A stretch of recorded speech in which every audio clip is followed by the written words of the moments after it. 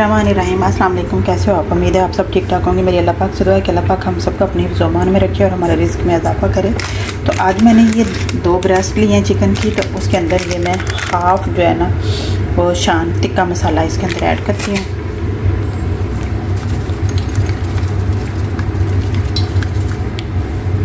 मैं अच्छे तरीके से मिक्स कर लेती हूँ।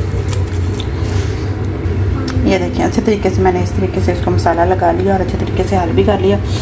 अब मैं स्टिक्स लेके उसके अंदर मैं डाल लेती हूँ इनको। तो फिर आपको दिखाती हूँ। अरे बना के रख लिए हैं। अब मैंने चूल्हे पे तेल भी रख दिया तो अब मैं इसके अंदर डालती हूँ और फ्राई कर लेती हूँ। इस तरीके से।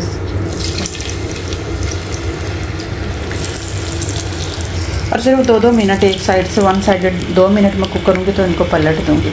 फिर दूसरी साइड से दो मिनट, उसके बाद फिर मैं इस तरीके से ये रिपीट करके उतनी देर तक कुक करूँगी जितनी देर तक ये बन नहीं जाते। इस तरीके मैंने सबको पलट दिया। है ये देखिए मैंने कोयला भी रख दिया छोटे से जहाँ पर मेरे टिक्के ना, वो भी बन गए ये देखें तकरीबन टिक्के मेरे बनकर तैयार हो गए। तो आप देख रहे होंगे कि टिक्कों का रंग भी है, कलर कैसे टिक्कों जाता है ना, वो हम कोयलों भी बनाते हैं उस तरीके से होता जा रहा है। उसकी रीज़न ये है कि कम ऑयल डालेंगे ना तो इस तरीके से ये बनेंगे। तो बहुत मज़े के बनते हैं, ज़रूर ट्राई करना। उसके बाद मैं इसको इनको सबको स्टीम दे दूँगी, कोयला देखें वो पड़ा हुआ मेरा उधर। उसके साथ तो वो भी मैं दिखाती हूँ अभी। फ़िलहाल पहले इनको मैं अच्छे तरीके से ना कुक कर लूँ। लेकिन ये है कि इसको अगर आप ज़्यादा देर तक के लिए पकाएँगे तो ये जो है ना, वो आपके हार्ड हो जाएँगे। तो चिकन के टिक्के जो हार्ड हो जाएँ तो वो बिल्कुल अच्छे नहीं लगते तो इसलिए कोशिश यही करनी है कि दो दो मिनट तक साइडों से चारों तरफ़ से आपने इनको पका लेना है तो ये कुक हो जाते हैं इन ऐसी पसंद आई तो लाइक ज़रूर कर दीजिएगा। टिक्के मेरे बिल्कुल तैयार होंगे अब मैं इनको प्लेट में निकाल लेती हूँ। इस तरीके से ये मैंने प्लेट बनाई है तो इसके अंदर मैं इनको टिश्यू के अंदर जो है ना, वो सारा जिसके तेल है ना, वो सर्व कर लेगा। सारे मैं इनको निकाल के रख देती हूँ।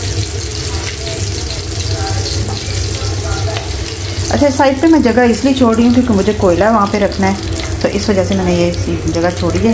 तो अब मैं इसको कोयले के लिए अलमोनियम फॉइल लेके आती हूँ सब में कोयला।